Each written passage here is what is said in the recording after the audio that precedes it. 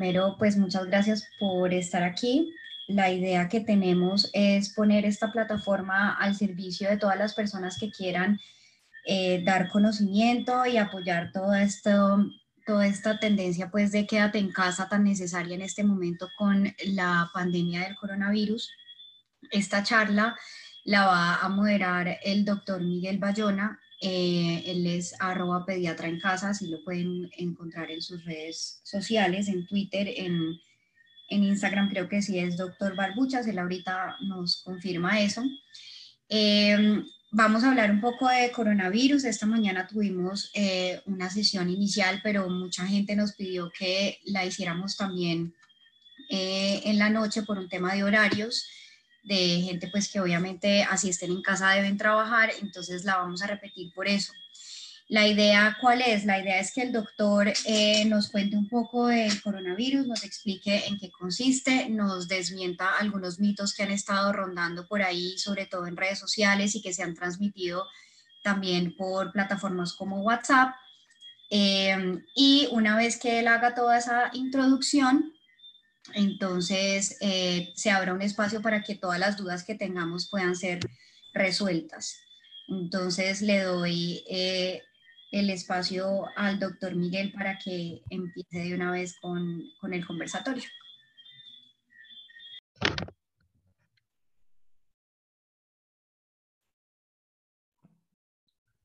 Bueno, listo. ¿Cómo están todos? Pues un gusto estar en este segundo espacio acá en la academia hablando sobre el coronavirus.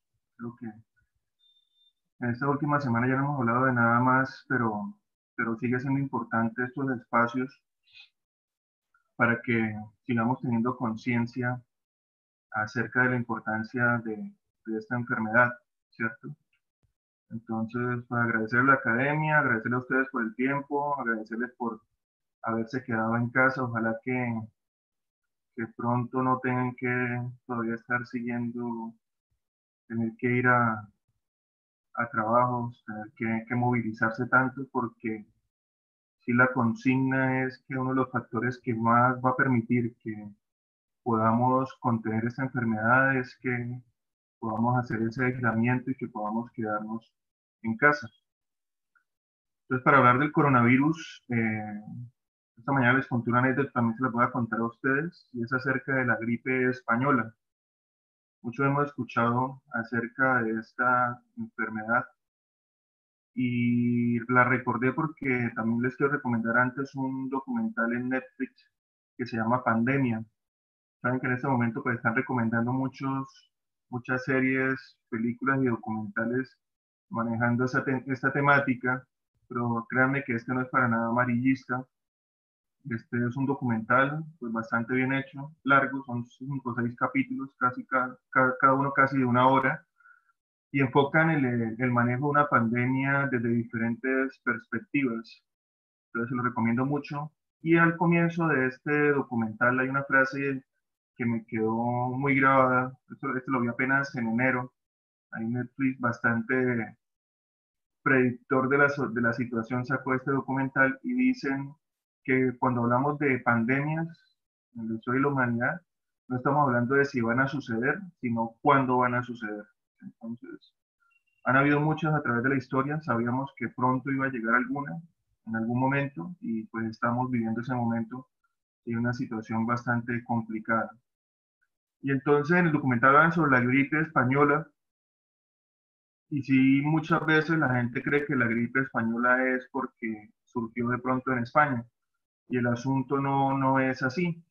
La gripe española fue entre 1918 y 1920 y, o sea, ocurrió tan pronto terminando, casi terminando la, la Primera Guerra Mundial, que recordamos fue entre el 14 y el 18. Entonces estaban volviendo los jóvenes en esta batalla que se libró principalmente en Europa. Eh, casi 30 millones de personas murieron en esta guerra y entre el 18 y el 20 comenzó también a morir muchas personas y todos con síntomas respiratorios. Algunos hablan de entre 20 y 30 millones que murieron por la gripe y hay cifras tan elevadas como 75 millones de personas en ese momento, casi un 25% de la población mundial para esa época. Entonces, muy, muy, muy alto. Y los gobiernos en ese momento pues estaban callados, querían casi que dejar pasar lo que estaba sucediendo para no crear más pánico y confusión, pues no teníamos tampoco todos los medios de difusión que hay ahora. Y fue el gobierno español el que sí comenzó a decirle a la gente, tengan cuidado, intentemos aislarnos él, algo que está enfermándonos a todos y que se transmite de persona a persona. Entonces, por eso esta gripe de 1918 se le conoce como la gripe española. Se le atribuyó que, que era de España, pero fue porque el gobierno español en ese momento fue el único que tomó la batuta de decir es importante que la gente, que la gente esté informada. Entonces traigo todo esto porque definitivamente es fundamental que estemos informados. Ignorar esto, meter la cabeza en la tierra como un avestruz, no va a hacer que las cosas cambien y que pasen. Y entre más información tengamos y sobre todo entre más información de fuentes fidedignas podamos recibir, pues vamos a poder entender más este proceso. Entonces hablemos del coronavirus. Y primero, antes de hablar del coronavirus, quiero que esta charla sea también como una charla de coronavirus para, para dummies, para, para principiantes. Entender que a todos los seres vivos nos pueden enfermar diferentes, diferentes tipos de microorganismos. No solo los virus, están las bacterias, los parásitos y los hongos. Los virus tienen una característica muy especial y es que son submicroscópicos, son de los más pequeños de estos, de estos cuatro tipos de microorganismos y casi que no son seres vivos, ¿sí? ellos solo son un poquito de ADN o ARN, o sea, información genética, de esa que nos permite ser lo que cada uno somos, de eso que está en las células, en el núcleo de cada una de nuestras células. Entonces es ADN o ARN rodeado de una cápside, de una cobertura que son proteínas y algo de grasa en algunos de ellos. Entonces estas partículas muy pequeñas son, son los virus y casi que su única función es sobrevivir, reproducirse, ir de una célula a otra, utilizar los mecanismos que tienen las células para, para procesar ese ADN para así producir más virus, pero en ese paso de célula en célula pues van generando daño, no todos, pero van generando daño. Entonces, el coronavirus es uno de estos virus, son casi 39 virus que existen y de esos son 6 que pueden producir enfermedades. Entre los coronavirus hay cuatro, como cuatro familias, alfa, beta, delta y gamma, y el coronavirus es un virus de tipo beta. ¿Qué característica tiene en especial este beta? Que pueden pasar de mamíferos diferentes a los humanos a los humanos, hacen ese salto, hacen ese salto de enfermedad zoonótica, de enfermedad de los animales a los humanos y en mamíferos. Por eso es que se ha atribuido que este coronavirus pudo venir de un murciélago. Todavía no hay certeza de que pudo ser de un murciélago. Todos hemos escuchado el mito este de, la sopa con, con, el, con, el, murciélago. Se cree que fue un murciélago porque el ADN el ARN, perdón, de este coronavirus es un 96% similar a un coronavirus que tienen ciertos murciélagos. Entonces, por eso se cree que viene de allí, pero todavía no hay 100% de certeza de esto. Es bastante probable que venga de allí. Listo. Entonces, para hablar ya exactamente de nuestro coronavirus, les dije que habían seis tipos. Dentro de esos el SARS y el MERS, que fueron dos epidemias que hubo en el 2003, también son unos coronavirus. Sabemos que en Wuhan, el 31 de diciembre del 2019, por eso se le llama COVID-19, se empezaron a identificar casos en esta ciudad de China. Wuhan es una ciudad realmente bastante grande, comparado con nuestras ciudades, tiene 11 millones de habitantes, entonces es una ciudad que que nada despreciable, probablemente más grande que Bogotá, y ahí empezaron a ver pacientes, personas que estaban desarrollando neumonía, infección en sus pulmones y se estaban enfermando muy gravemente. Como los chinos ya están tan sensibilizados con que en cada momento hay virus que pasan de los animales a las personas, entonces cuando aparecen estas, este tipo de enfermedades así que no tienen un comportamiento habitual, sospechan que pudo haber sucedido ese salto. Entonces en Wuhan aparece en el 2019 este coronavirus. De los datos que tenemos hasta la fecha, esto fue hasta anoche que retomé la Organización Panamericana de la Salud, hablaban de 182.400 casos 7.154 muertos por, por esta enfermedad a nivel mundial. Sabemos que la mayoría de los casos se han presentado en China, 81.000, que ya está en, en disminución, en Italia 27.000, España 9.940, eso fue esta noche, probablemente ya tenemos unos datos diferentes en este momento, 8.000 en Corea, y de Sudamérica, Brasil 234, Chile 155, Argentina 65, y Colombia anoche 54, ya ahí sabemos que son 65, sin ninguna muerte hasta ahora en nuestro país. Entonces es una pandemia, es una infección que, que ya está dispersa en el mundo.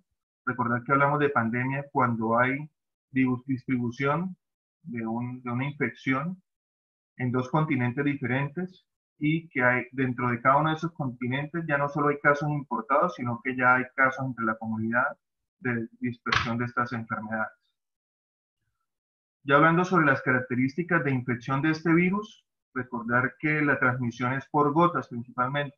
Entonces, cuando tosemos, cuando estornudamos, el virus va en esas goticas muy pequeñas y se esparcen alrededor de uno, algunos hablan hasta tres metros. Por eso la importancia de quedarnos en casa, de mantener ese distanciamiento social, para que en esa primera instancia donde el virus sale esparcido en el tos o en, la tos o en el estornudo, no llegue hacia nosotros.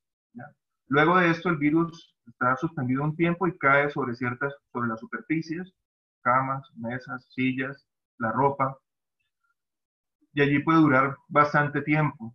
Puede durar, han dicho, desde horas.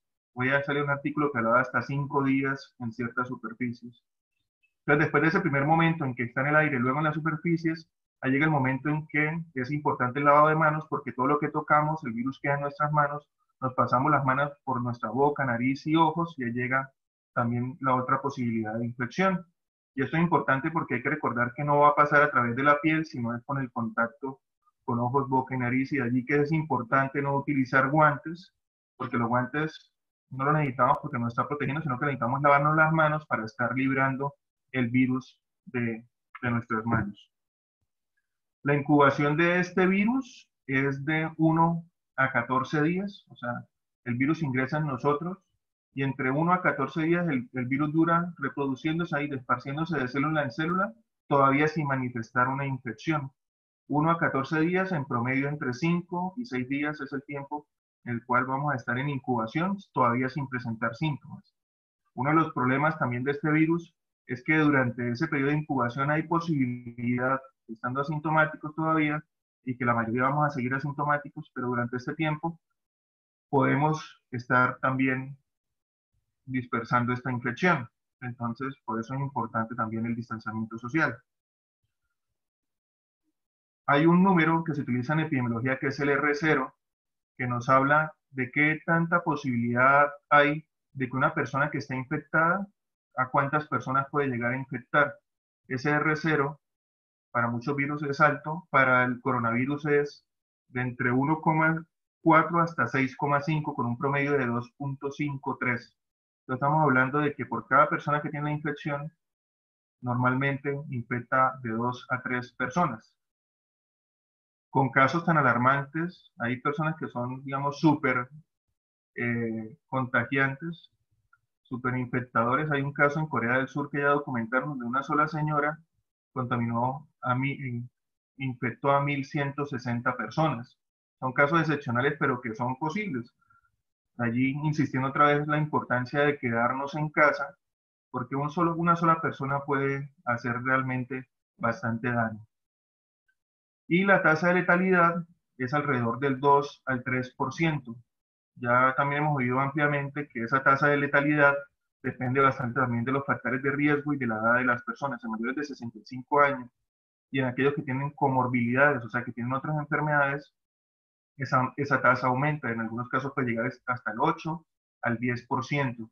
¿De qué enfermedades pueden complicar a esos pacientes o, aumentan el riesgo de que la enfermedad sea grave? Entonces tenemos las enfermedades del corazón, las enfermedades respiratorias, principalmente asma, enfermedad pulmonar obstructiva crónica, EPOC, que son los que son principalmente los fumadores, el cáncer, la hipertensión y la diabetes. Estas son principalmente las enfermedades que aumentan el riesgo que cuando nos dé coronavirus tengamos más probabilidades de tener una enfermedad grave.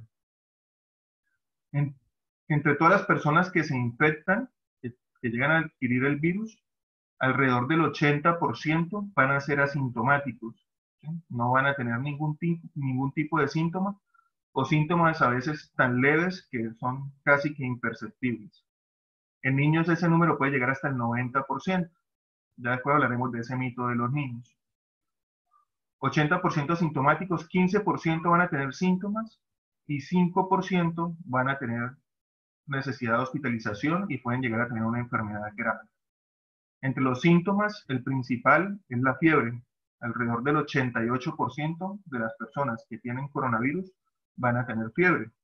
Tos en un 67.8%, fatiga, o sea, sensación de cansancio en un 38.1%, flemas 33.4%, disnea o dificultad para respirar el 18%, dolor de garganta que lo han dicho que es muy característico, que es muy fuerte, alrededor del 14%, dolor de cabeza 13% y síntomas gastrointestinales como vómito o diarrea en un 5%. Acá cuando hablamos de los síntomas es muy importante tener en cuenta, ha circulado mucho en redes un cuadro donde hablan de diferentes características de diferentes enfermedades respiratorias, que catarro, influenza, coronavirus. Este es un cuadro que crea más confusión porque puede hacer que las personas pensando que tengo esto o no tengo aquello no es un coronavirus y realmente los síntomas se pueden superponer. Pero no nos confiemos que porque tenemos flema o no tenemos flema o si es verde o es amarillo el moco, no estamos hablando de, de, que sea coronavirus. Inclusive hay pacientes que pueden tener coinfecciones, pueden tener coronavirus e influenza, pueden agarrar dos virus respiratorios. Nos pasa mucho en los pacientes pediátricos cuando tomamos pruebas de estudios para ver qué virus es el que estamos viendo, aparecen varios para influenza, influenza. Entonces no nos confiemos de que determinados síntomas van a, van a, nos van a hacer pensar en una infección u otra. Estos síntomas que yo les dije son los habituales, no todos los pacientes los van a tener, pero el más común es la fiebre. El síntoma más cardinal y que nos llega a hacer pensar que un paciente ya está pasando de una enfermedad, digamos, controlable, controlable a una enfermedad ya que nos debe alarmar es la dificultad respiratoria. Entonces nos, nos, hace indicar de que ya la enfermedad probablemente ha avanzado más, que ya se está alojando en los pulmones y más adelante los pacientes que se complican lo que desarrollan es una neumonía, una infección ahí en el pulmón. En los casos graves, más adelante ya la, infección se generaliza, es lo que llamamos los médicos como una sepsis, y en medio de esa sepsis ya con toda la infección generalizándose ya comienza a atacar otros órganos, riñón, hígado, vaso, cerebro, etcétera, y sobrevive a la muerte. Sabemos, como ya les dije, eso solo va a pasar en menos del 5% de los casos. Con relación al tratamiento, el tratamiento de los casos leves, pues va a ser con, con acetaminofén, es el mismo tratamiento que daríamos para cualquier tipo de, de resfriado. Entonces, cuando hablamos de ese 15% que van a tener síntomas, que no van a necesitar hospitalización, el tratamiento habitual va a ser líquidos abundantes y acetaminofén, tanto para niños como para adultos. Más adelante, ya en los pacientes graves, se están estudiando casi que a diario diferentes tipos de medicamentos para buscar un, medicamento que definitivamente pueda cambiar el curso natural de esta enfermedad. Entonces han utilizado medicamentos antirretrovirales, que son los medicamentos para el VIH-Sida. Se han utilizado medicamentos como la cloroquina, que es uno que utiliza para la artritis. Otros medicamentos más avanzados para la artritis, el interferón, que tanto han mencionado en estos días de Cuba pero ninguno de estos todavía tiene la suficiente evidencia científica y el suficiente soporte hasta el día de hoy como para decir que este es el tratamiento de elección y este es el tratamiento que nos va a curar. Así como tampoco hay un tratamiento que durante la fase leve nos permita cambiar la historia natural y evitar que esa enfermedad se desarrolle y termine en una neumonía.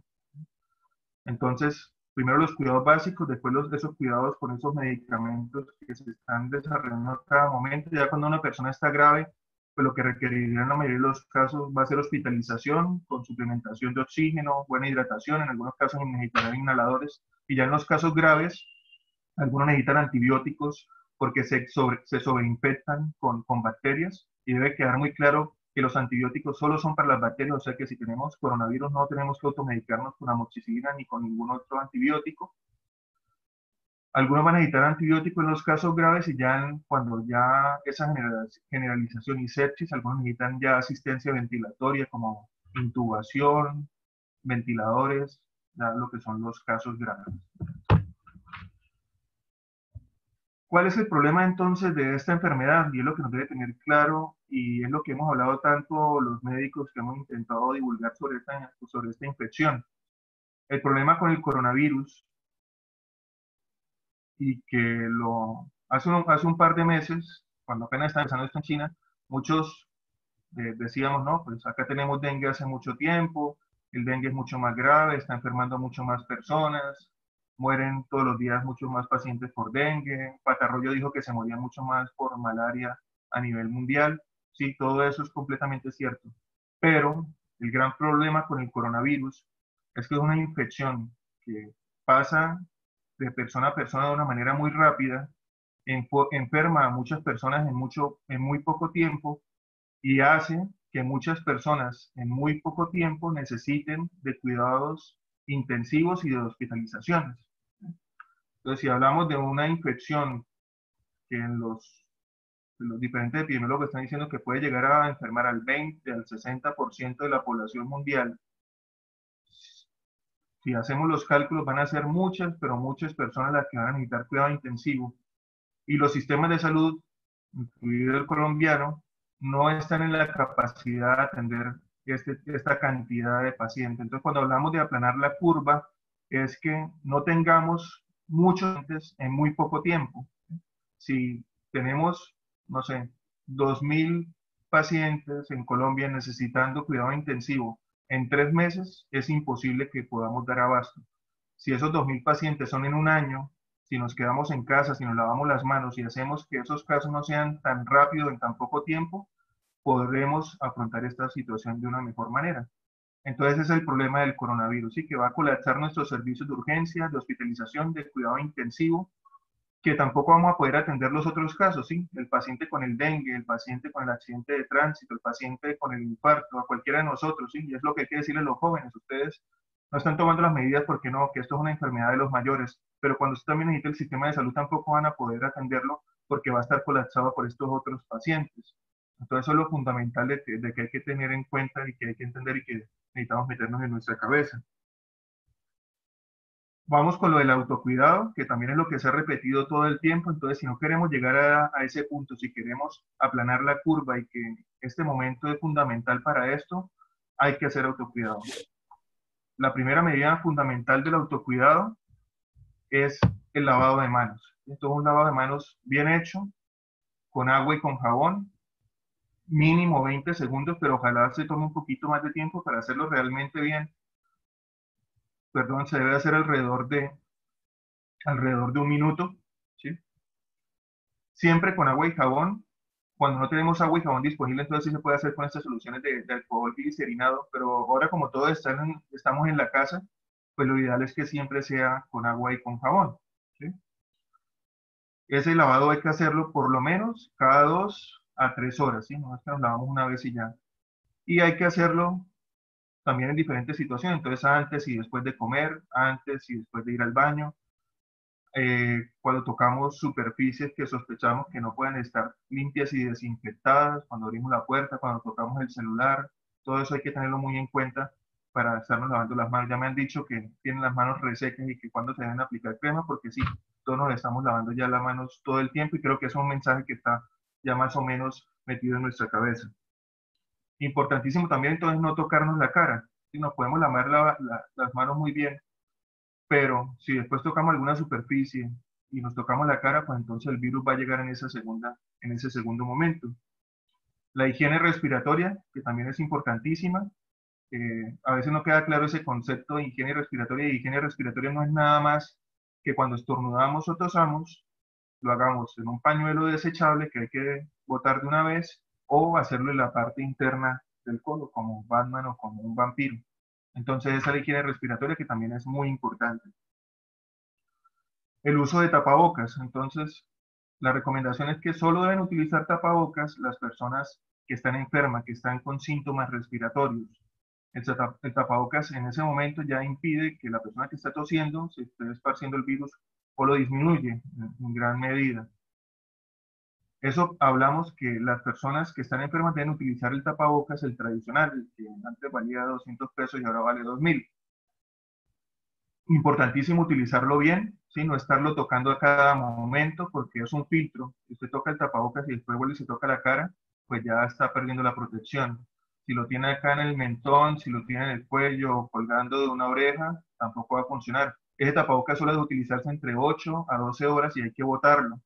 Hoy me hicieron inclusive la recomendación de que cuando lo botáramos lo rompiéramos, porque en medio de nuestra falta de vergüenza hay personas que lo están buscando en, en la basura, inclusive los hospitales, lo están limpiando y los están revendiendo.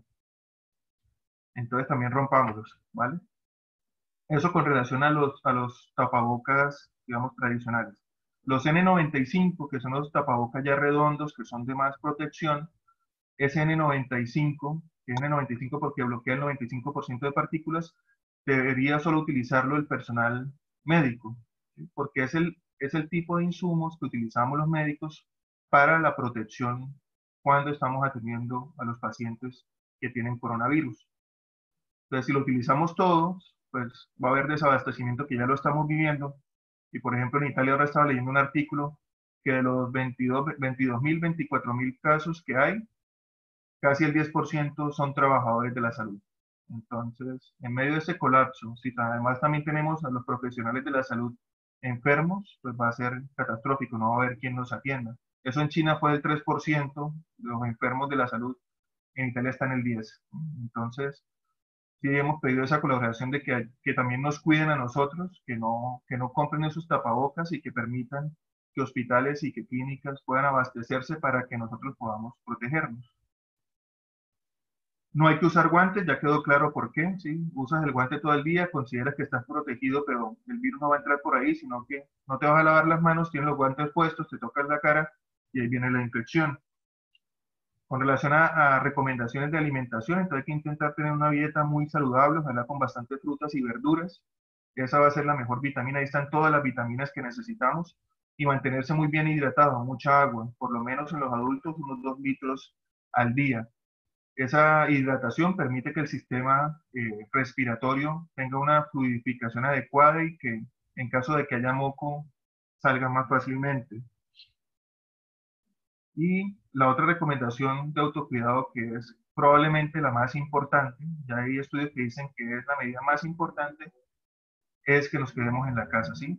ese autoaislamiento, limitar la movilización, mantenernos en nuestras casas, no acudir a centros comerciales, a iglesias, a consultas que no sean necesarias, solo debemos ir a las citas que realmente sean prioritarias y urgentes controles de crecimiento y desarrollo para los niños, citas de, control por enfermedades que, que, consideremos que están controladas no deberían hacerse. Ya hay varias EPS e IPS que están haciendo planes de contingencia para que aquellos pacientes que tienen enfermedades crónicas y que requieren asistencia y medicamentos sin falta, por ejemplo los diabéticos que no les puede faltar su insulina, ya hay planes para que puedan llegar a, a sus domicilios con una visita de personal médico. Entonces sí es muy importante que cada uno de ustedes averigüen su EPS o en su IPS si hay algún plan de contingencia en el caso de que tengan algún familiar que necesite este tipo de atención. Entonces hay que quedarnos en la casa, los, mayores no deberían salir a, comprar algo ni a pasear. ¿sí? Ojalá nos encarguemos, los que tenemos menos edad, de hacer ese tipo de, de mandados y también ha habido una recomendación que me parece muy bonita y muy solidaria que decir, por ejemplo, en nuestro edificio, en nuestra cuadra, en nuestro barrio, sabemos que hay una familia donde solo viven ancianos, una pareja, una persona anciana sola, ofrecernos, también teniendo las medidas de, no acercarnos mucho, para si necesitan alguna cosa, pues podamos ayudarles y ayudarles con este tipo de diligencia. Entonces, es fundamental el quedarnos en casa. Otra de las medidas muy importantes es que hay que hacer limpieza y desinfección de las cosas que estamos tocando. Ya dijimos que el virus cae en las superficies. Entonces no se trata solo de limpiar así rápidamente, sino hay que hacer limpieza y hay que hacer desinfección. Cuando hablamos de limpieza se refiere a que con lo que limpiamos habitualmente, agua y jabón o con cualquiera de estas soluciones que hay en nuestro mercado para limpieza habitual, en ese primer tiempo hacemos la limpieza con esto. Y en el segundo momento hay que hacer la desinfección, que debe ser con agua, con una solución que debe tener hipoclorito de sodio líquido. Más o menos la relación que se utiliza es por cada galón de agua, cuatro cucharaditas de líquido. Entonces, con esa solución vamos a hacer la, segunda, la, desinfección en toda esta superficie. que debemos limpiar? Todo lo que generalmente estamos eh, tocando. Entonces, sillas, la parte de atrás de las sillas, mesas, eh, todas las superficies de baños y cocinas, los celulares, las, las perillas de las puertas, donde encendemos la, luz, los controles remotos, que no se nos olviden que también los estamos tocando todo el tiempo. Entonces, eso y todos los lugares que ustedes vean que son habituales, que los estemos tocando, hay que hacer limpieza y desinfección por lo menos una vez al día. En el caso de que tengamos una persona en la casa ya con sospecha de una infección por coronavirus, esa persona debe estar aislada.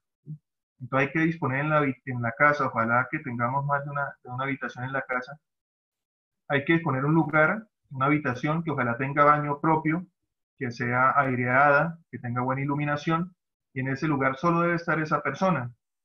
Los alimentos debemos acercárselos, pero ojalá sin estar en contacto, esa persona debe estar todo el tiempo con tapabocas. Y los alimentos, pues debe también recibirlos en su propio plato, vaso, cuchara, etc. También, eh, y lo ideal es que, por ejemplo, todas las prendas que ellos utilicen, ropa, etc., también se puedan lavar de manera aislada. Ya para concluir y para responder todas las preguntas que tengan, vamos a hablar un poco sobre los mitos eh, que hay con relación al coronavirus. El primero es que no infecta a los niños, ¿sí? que los niños no se enferman de esto. Entonces, sí, sí se enferman.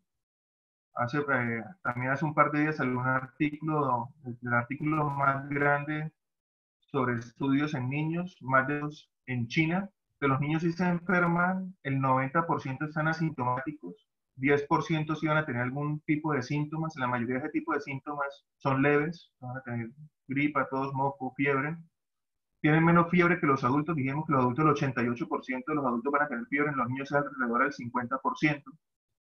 Pero también hay que tener en cuenta que los niños también se pueden enfermar de gravedad.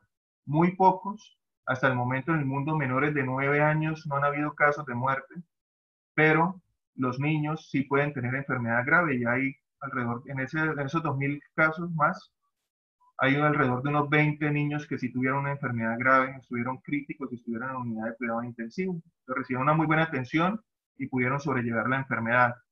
Pero sí tienen enfermedad de gravedad muy poquitos, pero sí pueden estar en riesgo. Entonces hay que cuidarlos, ¿sí? Y el otro problema de los niños, además de que se enferman y que sí van a tener infecciones, que como ya dijimos, el asintomático también contagia. Entonces, hay que tener en cuenta que esos niños también se pueden convertir en un medio para dispersar la infección. Y sobre todo en este contexto, en este momento que estamos viendo, que ya se cerraron los colegios, papás trabajando, puede ocurrir y estará ocurriendo también probablemente mucho que los niños están quedando con los abuelos. Entonces, población vulnerable con, con, población que puede infectar, pues es una combinación que no, que no va a ser muy buena. Entonces hay que cuidar mucho a los niños y cuidar también mucho a la tercera edad. El otro mito grande es que no es grave, que es solo una gripa, y lo, dijimos mucho hace un par de meses y definitivamente no. Vemos lo que está pasando en Italia y en España en este momento, casi 300 y 400 muertes al día en 24 horas en un país como este, entonces una verdadera tragedia, aclarando y reforzando que lo importante es que aplanemos esa curva para que acá tampoco en Colombia nos pase eso y no tengamos que recibir todo ese montón de casos en muy poco tiempo. Si están muriendo tantas personas en Italia, además es porque el sistema colapsó, si las unidades de cuidado intensivo ya no pueden manejar la cantidad de pacientes y entonces los pacientes están muriendo sin poder recibir ese cuidado intensivo que necesitarían. Otro de los, de los mitos grandes y que pensábamos que no iba a salvar acá en Neiva con nuestros 35 y 36 grados era decir que en el clima caliente no se, no se iba a reproducir este virus. Acá en Neiva ya tenemos siete casos tenemos probablemente la tasa más alta a nivel nacional por número de habitantes. Entonces, claramente sí el virus puede infectar en estas condiciones. Y ya en otros países que no están con clima frío, han tenido también casos. Entonces no es algo que nos proteja y, y, es un mito que en el clima caliente no se vaya a generar esta enfermedad. El otro mito es que los animales pueden contagiar. Entonces solo hubo un caso que se reportó y yo creo que hizo bastante daño más que beneficio, que fue en Corea un perro que se infectó. Entonces también al pensar que el murciélago, entonces no, pues también le tosimos al perro o al gato y este va a infectar a otras personas, entonces no está demostrado que no hay una transmisión de un lado para otro tan efectiva y no va a suceder, entonces los animales no nos van a contagiar de coronavirus, ni los vamos a, a, a contagiar a ellos. Y pues hay una serie de mitos también grandísima, todo, toda esta, todo lo que nos permiten estos medios ahora, redes sociales, Twitter, Facebook, Instagram, pues manejan cantidades alarmantes de, noticias falsas. Entonces el mensaje muy, muy, muy claro y muy importante es que vayamos a las fuentes que son seguras y que son fidedignas. Organización Mundial de la Salud, Organización Panamericana de la Salud. Yo todo el tiempo estoy retuiteando expertos en la materia. En Colombia está la doctora Zulma Cucunubá, que deberían seguirla todos y que siempre está manejando y dándonos información fantástica sobre todo eso, lo que es el coronavirus. Sacarnos de la cabeza todos esos tratamientos milagrosos, que las gárgaras con agua, que con limón, que agua caliente, que el ajo, que las gotas de defensas, que la vitamina C endovenosa, que los factores de transferencia, todo esto realmente son, son mitos. En este momento no hay ninguna cura milagrosa. Ojalá existiera algo así que permitiera subirnos las defensas o que permitiera que esta infección no diera ni, tan duro a ninguno de nosotros, pero en este momento no existe. Entonces, si hay personas con, sin ningún tipo de escrúpulos que están haciendo mucho dinero en este momento con esto y eh, está completamente mal. Entonces, pues, pues listo, eso era lo que yo quería contarles así sobre generalidades del, del coronavirus. Entonces ya quedo pues abierto a, a, todas las preguntas que me quieran hacer. Las voy a ir leyendo acá en el, en el chat. Permiso, tomo un poco de tinto y, y ya vamos.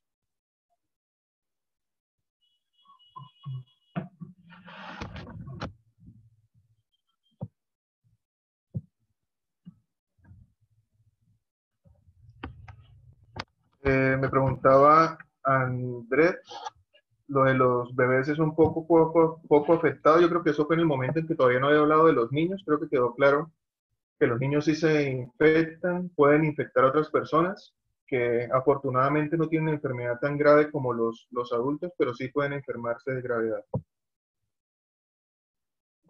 En los 14 días de incubación, ¿el paciente infecta a otros? Sí, sí existe posibilidad de que pueda llegar a infectar a otras personas. Que el alcohol no sirve para desinfectar. Sí, sí, sí sirve.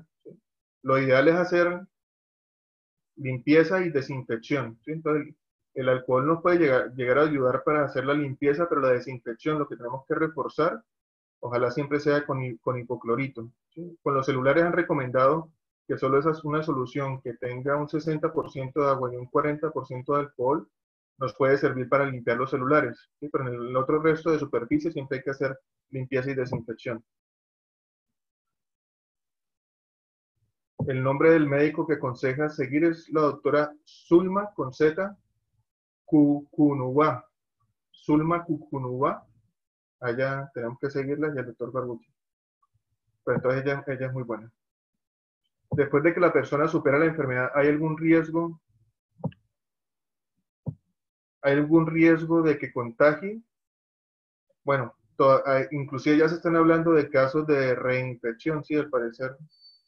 Normalmente lo que se espera después de una infección de esta es que uno no vuelva a contagiarse, pero al parecer ya hay, ya hay algunos casos donde hay personas que se han vuelto a infectar. Entonces, la, la ventana en la que podemos ser infecciosos se sospecha que son alrededor de 14 días que es lo que se mantiene de cuarentena. En ese, ese tiempo es el que se debería guardar. Y después de ese tiempo, pues no, pero digamos, como es una enfermedad realmente tan nueva, estamos hablando de algo de tres meses, pues hay que estar muy atento a todos los datos que vamos recibiendo, recalcando que ojalá siempre sea de, de fuentes fidedignas para ver cómo va cambiando estos datos. La WISP pasó unos pasos para desinfectar celulares con una mezcla agua y alcohol el, sí, ya lo había dicho, para, para los celulares esa, esa, es una opción. Allá la Cristina anotó el nombre de Zulma, Zulma Cucunova. Siempre el primer síntoma es fiebre o puede iniciar con tos y algo de presión en el pecho. Digamos que no hay como un orden preciso de los síntomas. Digamos que el, el síntoma más común entre todos los pacientes, lo que más han tenido ha sido fiebre pero no hay como un orden general en que van a, van a ir apareciendo. Casi siempre en estas infecciones, casi primero aparece la tos, la gripa, el malestar y después aparece la fiebre pero digamos que no es importante como que si aparece en un orden diferente o aparece en un orden al que nos hayan dicho, no descartemos ni tampoco confirmemos que hablamos de esa infección. ¿Esto queda grabado? Sí, va a quedar grabado la, presentación.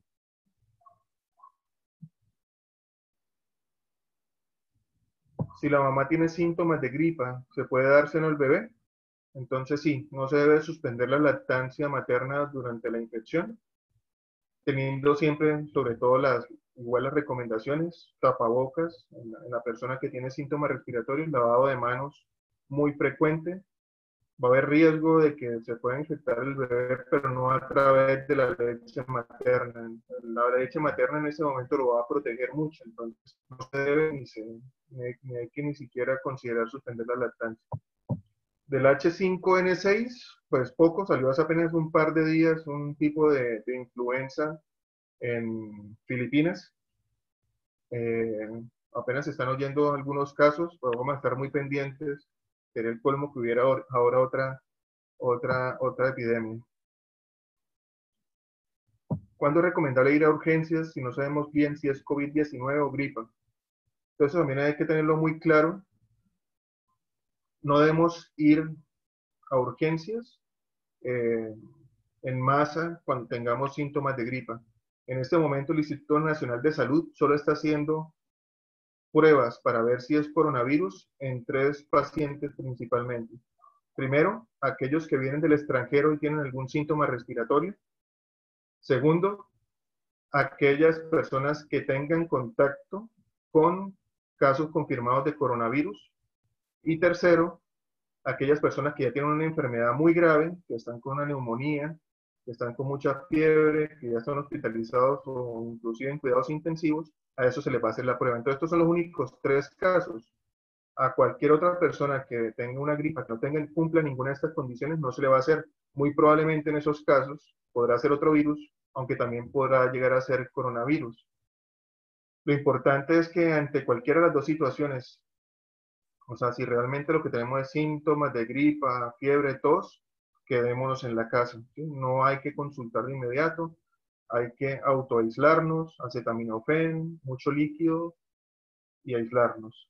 ¿En qué momento vamos a ir por urgencias? Y antes de ir a urgencias sería importante hacer una llamada a los números que hay en cada una de, de las regiones para avisar nuestros síntomas que estamos mal y que necesitamos consultar. Si se demora la llamada, pues no, hay que ir a urgencias de inmediato vamos a ir cuando aparezca la dificultad respiratoria. ¿Sí? Si nos sentimos con dificultad, en con dolor en el pecho, que no estamos respirando bien, es el síntoma cardinal, es el signo que nos debe alarmar para pensar que la enfermedad puede estar progresando.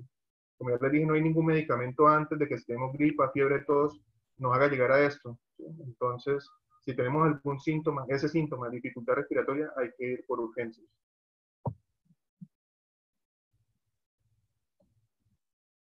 Le puedo dar a la bebé vitamina C por prevención de seis meses. Em, la vitamina C no va a prevenir que le dé la enfermedad. Ya hay esto, este, digamos, esta creencia fue alrededor de los años 70, donde salieron un par de estudios, estudios que decían que la vitamina C podía prevenirnos de que nos dieran gripa y pues se volvió un negocio en, en 50 años, durante 50 años. Entonces la vitamina C no, no va a impedir que nos dé gripa. Comer mucha fruta y mucha verdura, mantenernos bien hidratados y bien alimentados sí lo va a prevenir. Entonces en lugar de comprar esa vitamina C, si ya tiene seis meses, lo mejor es darle, por ejemplo, guayaba. La, guayaba tiene hasta cuatro veces más vitamina C que una naranja, entonces guayaba, mandarina, naranja. Los niños antes de los seis meses, antes de los 12 meses sí pueden tomar cítricos y a partir de los seis meses, cuando se inicia la alimentación complementaria, deben comer frutas y verduras entonces, mejor que la vitamina C en gotas o cualquier cosa, mejor que coman las frutas. Si viven tres personas y alguna está contagiada sin saberlo y mostrar síntomas, cuando muestre síntomas, ¿ya debemos asumir que las otras ya están contagiadas? Sí, existe alta posibilidad de que sea así, sí, porque si hay un contacto estrecho, sí, si estamos conviviendo con esa persona, hemos estado compartiendo, hemos estado durante mucho tiempo por en menos de un metro con esa persona, sí deberíamos autoaislarnos todas las personas que estamos en esa, en esa vivienda. Si es un paciente inmunosuprimido, presenta síntomas, no le haría la prueba al no cumplir con esos tres puntos establecidos del Instituto Nacional de Salud pues lo que está claro en este momento eh, son esas tres indicaciones, ¿sí?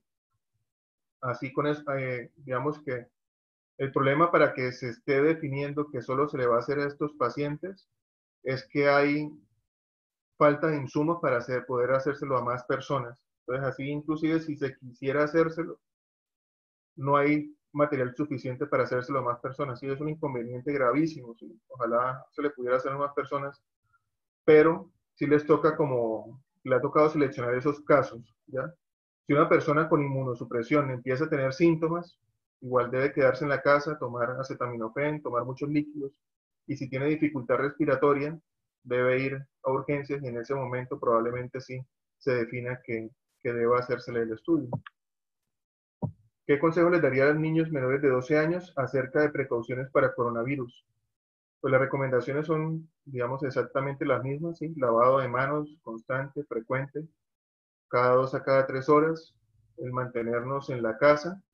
Es muy importante que todos los papás se metan en la cabeza, ahora que no están en el colegio no son vacaciones, no es, ideal estar en las casas, no salir al parque, no ir a las piscinas, evitar cualquier tipo de aglomeración. Yo sé que me imagino lo difícil que debe estar en esa situación, encerrados con un niño durante 12, 16 horas exigiendo atención y aburridos, pero eh, hay que mantenerse ahí en la casa.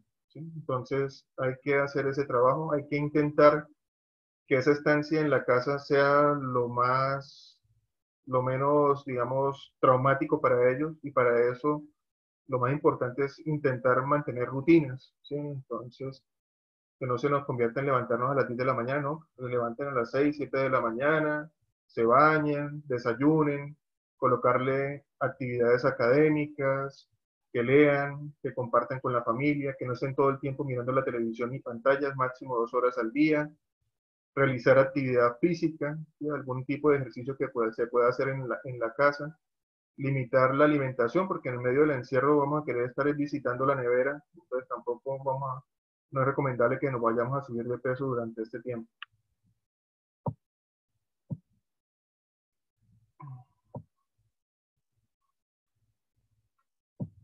Es aconsejable aislarse en áreas rurales como irse a una finca, pues podría ser una medida, ¿sí? digamos que si estamos aislados de, toda la, civilización, pues existiría menor riesgo de, contagiarnos. Y si alguna persona tiene esa opción, pues no la vería descabellada. Ya pues tocaría ver cómo la parte de salud mental eh, enfocaría esto.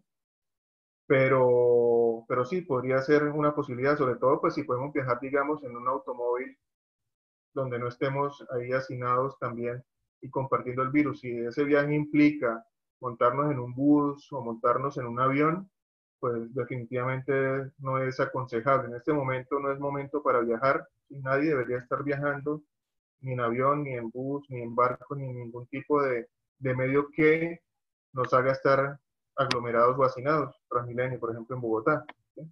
Entonces hay que, tener mucho cuidado con esto.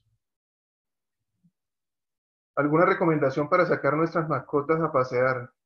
Vaya, eso, eso no lo había pensado hasta ahora. Hay que tener gatos para que estén en la casa y, no necesiten tanto paseo. Eh, pues, la idea es quedarnos en la casa. ¿sí? No sé si existe la posibilidad de que, de que se puedan mantener allí, ¿sí? de que se pueda disponer algún lugar de la, de la casa donde ellos puedan hacernos sus necesidades en caso de que sea absolutamente imposible, si estamos en, en, algún, en alguna casa, tratar de salir el menos tiempo posible, que hagan sus necesidades e ingresar de, de, inmediato muy rápido y lavado de manos antes y después. Evitar lugares donde haya mucha aglomeración. Si es en, por ejemplo, un edificio que hay un ascensor, siempre que nos movilicemos en un ascensor, intentar tocar todos los botones, ojalá con el codo. Eh, hacer el llamado a que las personas que hacen el aseo hagan limpieza y desinfección de todos estos dispositivos. Ojalá intentar tomar el ascensor solo cuando estemos nosotros y si está muy concurrido, pues a veces es mejor utilizar las, las escaleras.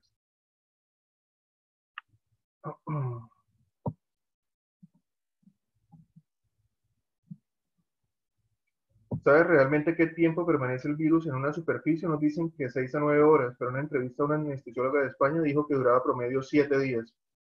Ahí eh, salió un estudio hoy, digamos que depende del tipo de superficie, en algunas dura eso, 4 o 6 horas, pero en algunos puede durar hasta una semana. Entonces puede durar mucho, mucho tiempo y por ahí lo, importante de hacer la limpieza y la desinfección. Nos dice Catalina, que es psicóloga, por salud mental, un aislamiento tan marcado puede ser contraproducente. Si van a ir a una finca, es importante que igual no queden desconectados del entorno corren el riesgo de incluso presentar desorientación temporoespacial. Entonces, todo hay que considerarlo. Yo saco a mi perro en horas menos concurridas, en lo posible muy temprano y muy de noche. Hay, que, hay que extremar todas esas medidas de, de no estar en contacto. Ojalá un metro, dos metros entre una persona y otra. Listo, esperemos un par de minutos a ver si hay alguna pregunta más.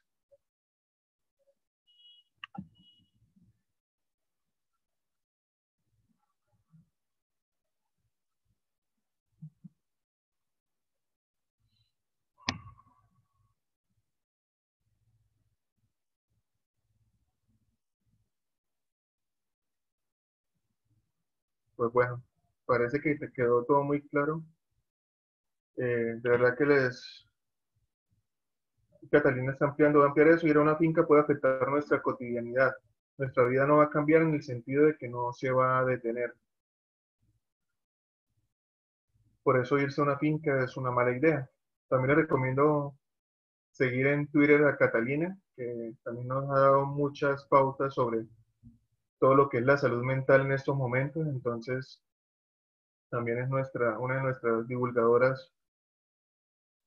¿No hay audio?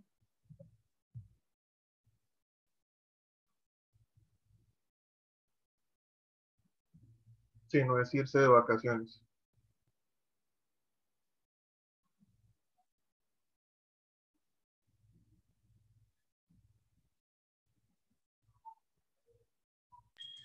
A Catalina le podemos, la invitamos también a que utilice, eh, digamos, los espacios que está ofreciendo la Academia Digital por si quiere ampliar un poco el tema que estamos tratando acá. Eh, para todos los que vinieron y se conectaron, muchísimas gracias. La idea con estos espacios es que logremos entre todos ayudarnos a pasar este quédate en casa, a resolver todas estas dudas. Eh, hoy lo hicimos directamente con el tema del coronavirus para empezar toda esta dinámica. Ya tenemos programación de toda la semana. De todas formas, con el doctor Miguel estamos en contacto eh, por si es necesario otra vez tener esta charla. Él está dispuesto a hacerlo las veces que sea y a resolver también sus dudas. En Twitter eh, es eh, pediatra en casa. En Instagram me recuerdas, porfa, doctor. También arroba pediatra en casa o me pueden encontrar, siempre también como doctor Barbuchis. Perfecto. Eh, Catalina, yo te contacto ahorita a través de Twitter para que miremos a ver cómo logramos que puedas tener también un espacio em, en estos foros. Los foros los está eh, poniendo, la plataforma la está poniendo la Academia Digital. La idea es entre todos construir foros con temas que nos puedan servir para resolver dudas y para pasar eh, el rato. El fin de semana también tenemos eh, temas de entretenimiento. Bueno, vamos a, a, ver cómo logramos poner un poco de todo para ayudarnos y, y hacernos compañía en este, en este quédate en casa.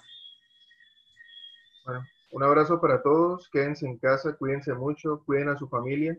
Recuerden que esto se trata de, solidaridad, ¿sí? de, pensar en que, en que lo que hacemos estamos cuidando a nosotros, pero también estamos cuidando a los demás. Un abrazo.